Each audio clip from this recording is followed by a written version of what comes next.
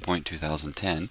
In this tutorial we're going to talk about how to use audio effectively in your PowerPoint. There are a couple different ways to include audio and the first one is uh, through the transitions ribbon. So I'm going to select the transition ribbon and this is probably what most people think of when they think of audio in their PowerPoint is they want it to to make a little sound as each slide advances. So I first just select a uh, transition that I like. Picked one right there. And then I can choose a, this uh, sound option right here. And I have various different ones available by default. But if I come to the bottom, I will be able to click Other Sound and then navigate to where I've got this on my computer. By default, it's opening up the last place I was pulling media from, and you'll see that there's a Swing 01 wave sound there. If I click on this audio files uh, drop down arrow to show all files, you might notice that there's another audio file in there that's an MP3. PowerPoint is most compatible with WAV files for this kind of uh, work, and so they pretty much need to be WAV files in order for you to use it as a transition sound. So I'm going to select that swing and click OK. You heard it preview the sound for us. It's a little swing that I found online. And so when I advance to this slide in the slideshow, or I begin the slideshow from this slide, you'll hear that audio and my transition will happen. I'm going to escape out of PowerPoint, uh, the, the full screen view, so we can take a look at the other way to include audio in your PowerPoint. The second way you can do this is if you go to the Insert ribbon, clear on the right hand side, there's a little audio um, icon. I'm going to click that and by default it's going to go to the same place I was most recently getting media from and it will uh, show me the different ones that are available. And now notice I could put the swing file in that way and so that I can have a little bit more control over how I use it but there's also this one here that's an MP3 file and I'm going to choose that one and insert it and when I do that it's going to create an icon for me and a little uh, media toolbar, uh, media management toolbar. I prefer to put these audio icons up in a corner, kind of out of the way. And so let's take a look at that full screen. There's my transition sound, my transition effect happens. It's bringing up the other items, and then when I mouse over this, I get uh, uh, this toolbar that lets me hit play.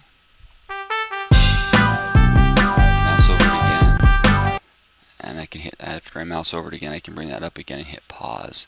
I also have options to adjust the volume and a few other things.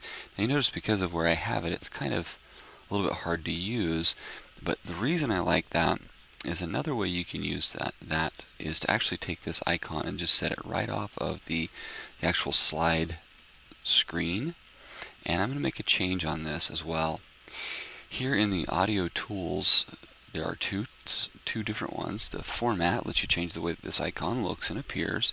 That can be useful and helpful for some things. But I'm also going to show you the playback one, which I like quite a bit. Now in the tutorial on videos, we saw most of the same kinds of things. There's a play button, a bookmark button, a trim audio, and if I select that, I get a very simple audio trimmer that I can select just a portion of that audio if I want. You know, that might work for a longer podcast I wanted to include only 10 minutes of. I'm going to close that. But another thing you can do here is you can actually change this from being to start on click to start automatically.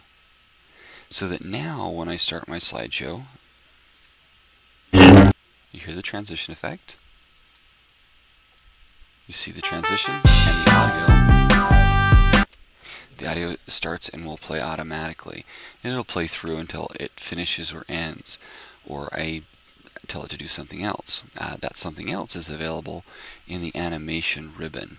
Uh, the animation ribbon is kind of a not the place you'd first look for this, but if you open the animation pane, one of the things you'll see is that whenever we insert media in PowerPoint, especially that you know media like audio or video, it creates an animation effect.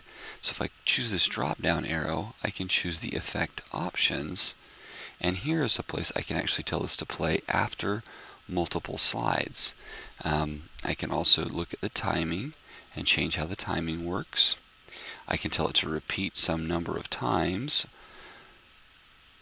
If I want it to repeat a certain number of times a sound, and I can use the audio settings to enhance it and choose some other items. Now it's funny that you, this happens because it, uh, another feature of this is in order to do the whole effect of what I want to do, if I'm going to, sorry, I need to set that, go to my effect options, I want this to continue and, and to stop after two slides. So it'll play through two slides. But one of the other parts of this is I'm going to select my audio to bring up my playback and there's a loop until stopped. So it'll just keep running that audio until I get through those two videos. This is only a 15 second audio. Let's take a look at how that works. I'm going to hit the slideshow button. And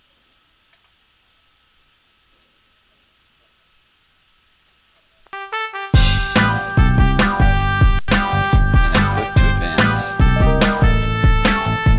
And I click to advance again and it'll stop the slide or the it will stop the audio now that may not be the the most direct route to get there, but that's how you get audio to play over multiple slides. The reason I looped it is this is a short sound. But if you had like a, a, a, song or a podcast you wanted to play over a couple of slides, you, wouldn't need to worry about that looping feature we did there at the end.